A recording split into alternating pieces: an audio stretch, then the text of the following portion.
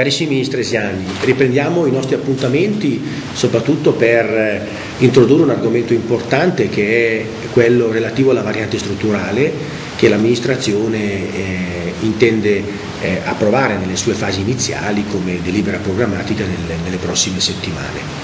Affrontiamo questo tema perché ho visto che è stato oggetto di tante polemiche, anche critiche, in alcuni casi scontate, che sono quelle relative alla minoranza consigliare. Ed è bene anche forse precisare alcuni, alcuni temi della variante, alcuni contenuti della variante strutturale, eh, proprio perché è giusto che tutti i cittadini si possano fare un'opinione, ma sentendo anche però eh, la parte della, come la pensa l'amministrazione, eh, visto che ultimamente sia sui giornali e sugli altri mezzi di comunicazione mi pare sia circolato solo il messaggio della minoranza che dal nostro punto di vista non è corretto e soprattutto non corrisponde fondamentalmente sostanzialmente alla verità.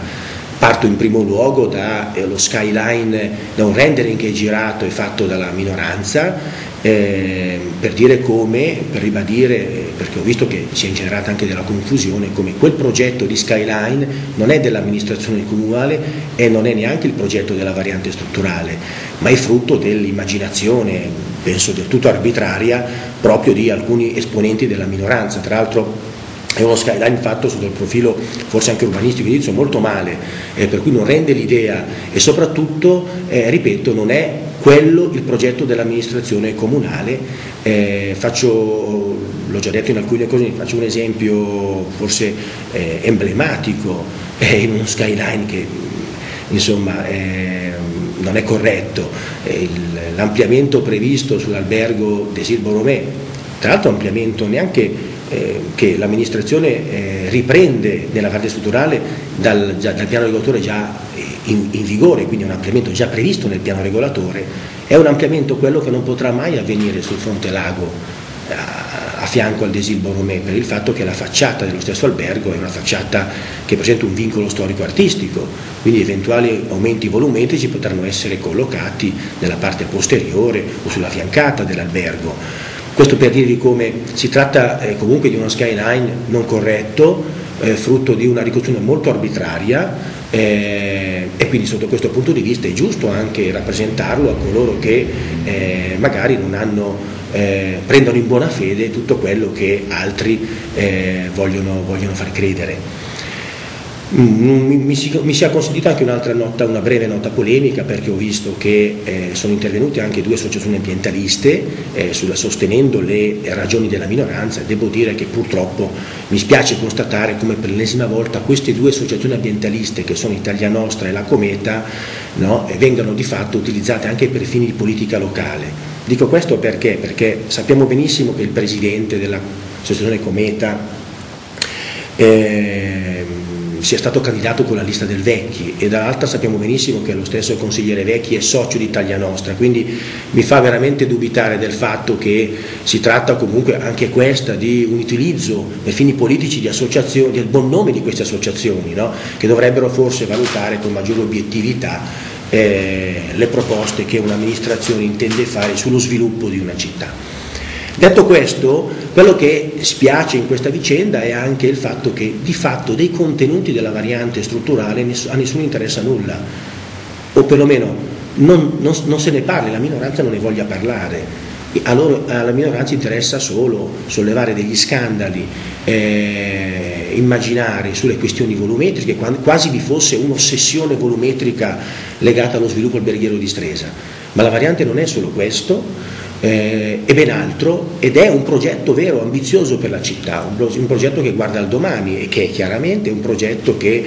eh, orienta il suo sviluppo economico e sociale sul settore turistico eh, alberghiero, sul settore anche tradizionale. Questo perché in questo momento storico abbiamo verificato come vi sia ancora domanda, vi sia ancora spazio per uno sviluppo di questo tipo, in un momento, ricordiamolo anche perché spesso ce ne dimentichiamo, di gravissima crisi economica, dove se si può dare una mano ciascuno nel proprio piccolo eh, allo sviluppo comunque economico eh, del nostro territorio è un passo importante, un passo avanti. Penso che tutti noi dobbiamo in questo momento particolare, eh, dobbiamo pensare a coloro che oggi eh, nel nostro territorio soffrono eh, la situazione economica, quante imprese hanno chiuso nel suo territorio e io dico spesso che se c'è qualcuno che intende investire dovremmo fare di tutto perché possa investire, certo, certo ne siamo tutti consapevoli, nel rispetto della tradizione del posto, nel, nel, nel rispetto soprattutto del, eh, del, luogo in cui siamo, che è Stresa, che quindi ha una sua tradizione legata sicuramente alle ville, legata al paesaggio. E su questo anche non c'è dubbio che se ne terrà conto nella, nella, variante, nella variante, strutturale, eh, perché questo appunto è anche una delle ricchezze di Stresa. Eh, ogni, io penso che ognuno nel, nel, proprio ruolo, come anche un sindaco, debba sentire questa responsabilità, che in questo momento di difficoltà economica quello che è importante è non rimanere mai fermi, ma è quello di rilanciare, pensare al futuro, pensare a creare nuovo, nuove opportunità. Eh, se non si sente questa responsabilità, secondo me è bene non fare neanche gli amministratori. Detto questo, dicevo che la variante strutturale, occorre dire che eh, era già stata predisposta due anni fa e tra l'altro fu anche inviata a tutte le associazioni ambientaliste, ma nessuna di queste eh, fece pervenire osservazioni eh, di qualunque genere eh, era già stata predisposta, poi era stata ridotta in termini quantitativi e oggi può essere presentata, eh, ma presenta una caratteristica fondamentale. Mm, quindi mi permetto adesso in, in un minuto di descrivere brevemente questa variante strutturale. Presenta una caratteristica fondamentale che è quella che lascia fondamentalmente invariata